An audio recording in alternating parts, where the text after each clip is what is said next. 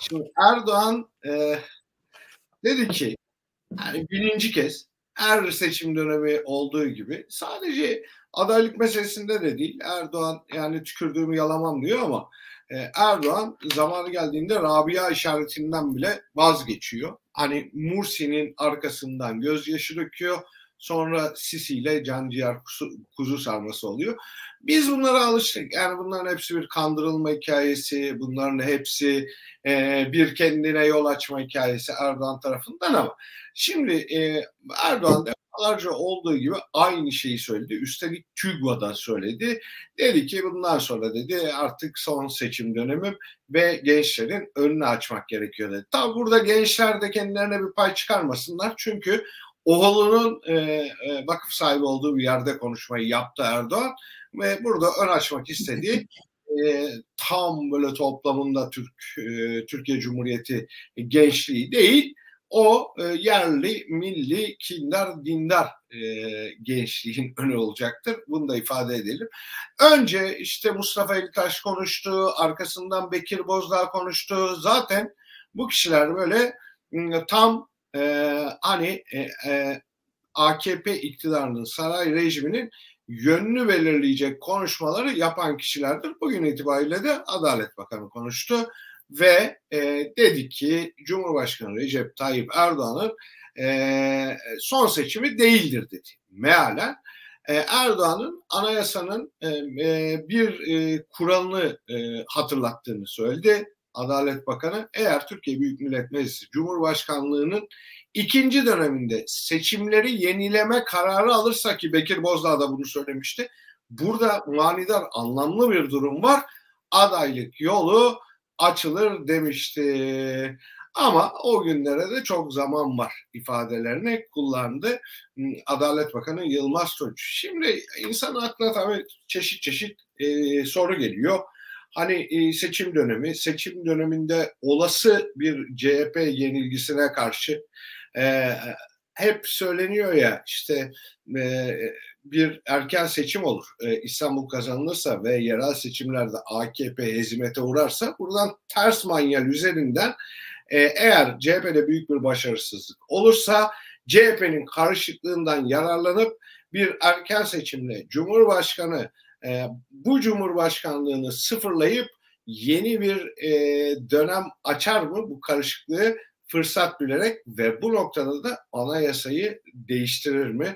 İstediği kurallarla e, Türkiye'yi kurumsallaştırarak e, yönetmeye e, yani biraz daha derinleştirir bu krizi diye sormadan edemiyoruz. Şimdi ne düşünüyorsun? Bu açıklamalar, bu söylemeler, siyaseti bırakıyorum, duygusallıkları ne olur bana yine oy verin e, alt metninde e, ifadeleri ne diyorsun buralarda? Bunu işte sisteme yeniden soktukları e, bir strateji olarak görüyorum. Hani o duygudaşlık e, bir arada olma, birlikte olma, sahip çıkma duygusu biliyorsun yani her zaman için. E, Erdoğan'a sahip çıkma yani AKP'nin oylarıyla Erdoğan'ın oyları çok farklı. Bunun farkındayız. E, ve yerel seçimde de bunu bir şekilde yine ben varım. Yani buradaki başarı benim başarım olacak. Bu da benim son seçimim vesaire. Bir kere neden yani e, bunu söyleme gereği hissediyor ki son seçimi idiyse bitti zaten. Yani şimdi o seçildi bitti vesaire. Şimdi bir yerel seçim öncesi ama bunları artık yani e, tecrübeli vatandaşlar olarak gülüp geçmemiz lazım. Vallahi ben gülüyorum yani e, böyle bir şey şimdi anayasa baksana nasıl bir anayasa anayasa anayasa aman Allah'ım ne oldu o anayasa hiç beğenmiyordunuz o anayasayı değiştirecektiniz. Anayasa şöyle Cumhurbaşkanı yasanın verdiği yetkiyle bir anayasadır bir yasadır gidiyor. Meğer nasıl da çok severlermiş o anayasayı ama böyle parça parça seviyorlar. Anayasanın bir, anayasanın bir kısmını bazen çok seviyorlar ama anayasanın e, Anayasa Mahkemesi kararları kesindir, bağlayıcıdır kısmından hiç hoşlanmıyorlar. Yani. Öyle bir şey yok. Bir garip yani. Bizim ülke öyle zaten. Parçalı hukuk, parçalı demokrasi falan, parçalı eşitlik. Neyse e, böyle bir durum. Ben bunun e, lafı güzel olduğuna inanıyorum. Yani tabii ki anayasaya göre Onların yorumladığı şekilde. Halbuki anayasanın bir maddesi daha var. Anayasanın o maddesi bir kez bir kişi ancak iki kez cumhurbaşkanı olabilir diyor. O madde hiç değişmedi. İlk seçildiğinde de vardı. Daha sonra cumhurbaşkanlığı hükümet sistemine geçerken de vardı. Dolayısıyla aslında o kısmını yok saydılar. Şimdi onun e, ikinci kez cumhurbaşkanı olduğuna karar verdiler. Mesela öyle de bir yorum var yani. Derin bir yorum güçleri var. Ee, on anayasaya göre onların şu andaki kabullerine göre meclis 400 oyla seçimlerin yenilenmesini isteyen Türkiye Büyük Millet Meclisi buna karar verebilir. Onu söylüyorlar. E 400 bulamazlar mı? Bulurlar valla. Yani ben Türkiye'deki bu siyasetten başım dönüyor. Ne olacağı belli değil. E 1 Nisan'dan sonra kim kiminle nerede nasıl göreceğiz. Yeni bir dönem açılacak. Bunu herkes söylüyor.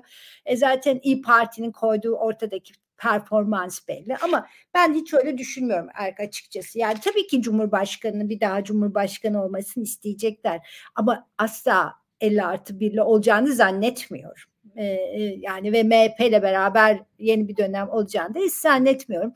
Bu atlanıyor benim düşünceme göre.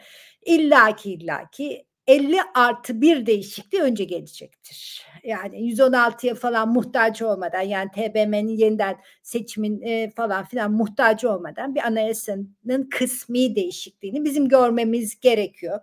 E, buna hayır derler mi? Pek zannetmiyorum. Yani diğer partiler de 50 artı birden hoşnut değiller. Baksana birbirleriyle geçinemiyorlar. Yani kim 50 artı bir için yeniden Cumhurbaşkanlığı seçimine falan gelecek. Yani siyasi iktidar cephesi ve diğer cepheye baktığımızda 50 artı birden kimse mutlu değil. Yani bize ilk önce gelecek olan değişiklik 50 artı bir için gelir. Belki yanına bir ufak bazılarını mutlu edecek yeni bir şeyler eklerler ki hani e, referanduma da gitmeden bu 50 artı bir değişsin diye düşünebilirler. 50 artı 1'i değiştirdikten sonra artık kaç çıkar, kaçta anlaşırlar bilmiyorum. Ee, en önemli sorunumuz bizim o çünkü Cumhurbaşkanı bir daha seçilecek mi seçilmeyecek mi? Bizim başka sorunumuz yok. Yani biz İran'dan daha yoksuluz, e, kişi başına düşen gelirden, Mali'den ya Tanzanya'dan biraz sonra onlar falan hiç önemli değil. E, gençler umutsuz, hiç önemli değil. Her gün beş kadın katlediliyor, hiç önemli değil falan. Önemli olan Cumhurbaşkanı bir daha seçilecek mi? Kafayı ona yoruyorlar. Dolayısıyla e, onu yaptıktan sonra elbette e, seçim gelecektir. Ne zaman olur? O da iyi ihtimalle tabii milletvekillerimiz kendilerini düşünmesi gerekiyor. Bir iki yıla ihtiyaç var. E, o da Haziran 25 2025 gibi olur diye düşünüyorum. Bu süreci önümüzdeki bir yılda böyle geçiririz gibi geliyor. Yani niyetleri şudur bu son seçim bana oy verin vesaire ama orada bir tabii ki Cumhurbaşkanı diğerlerine göre e, daha samimi yasanın verdiği yetkiyle derken onu söylüyor. Şimdi yasa başka yetki verirse niye kullanmasın değil mi? yani yasa yeni yetkiler verebilir bakarsın. 50 artı bir değiştirirler. Cumhurbaşkanlığı yasası da var bizim. Cumhurbaşkanlığı seçim kanunumuz da var. Orası değişir. Başka yeni yetkiler verirse yasa e, Allah ne verdiyse kabilinden e, adaylığı evet. olacak. Ölüm bizi ayırana dek fiberglastan değilse Erdoğan yani sonsuza kadar değil ama ölüm bizi ayırana dek e, istiyor benim gördüğüm. Aynen. Ya bunu da şimdiden hem e, onun ipuçlarını veriyorlar, toplumu hazırlıyorlar. Hem de bir taraftan da hazır seçim önü işte son kez Cumhurbaşkanı sağ, seçilmiş Cumhurbaşkanı sahada yerel seçim için uğraşıyor. Yani böylesine bir şey var. E, nasıl diyeyim artık bir vefa duygusunun gösterilmesi gerekiyor falan gibi. Yani atalım zarı çoklu ne gelirse ne çıkarsa. Bildiğimiz şeyler ya onlar bıkmadı usanmadı bu yöntemlerden. E, insanlarımız da e, kalmaktan bıkarlar mı, usanırlar mı göreceğiz. Yani e, anlattıklarından anladı. Hem duygusal olarak seçmeninden ricacı oluyor. Burada tabii endişeleri var. İşte İstanbul Büyükşehir Belediyesi, Ekrem İmamoğlu ve Yeniden Refah Partisi zorluyor kendisini e, buradan tabanının kaymasına karşı bir duygusal bağ kuruyor. Bu duygusallıkla ajitasyonla oy devşirmek istiyor ama bir yandan da bir ön açma operasyonuyla önceki dönem e, konusunda olacakların ipuçlarını veriyorlar. Evet, evet. Yani bir anayasa değişikliği gelecek. Yasa ne etkiler verir bakalım. Yasa bu. Biz de Yasa. hep yasalara uyarız zaten. Anayasayı hiç ıskalamayız hele. Allah şöyle, şöyle oluyor, şöyle oluyor. Ee, galiba siyasal İslamcılara özgü bir şey bu. Ee, yasalar var, demokrasi de var ama bana kadar var, bize kadar var. Yani e, bu, bunu da böyle kullanıyorlar.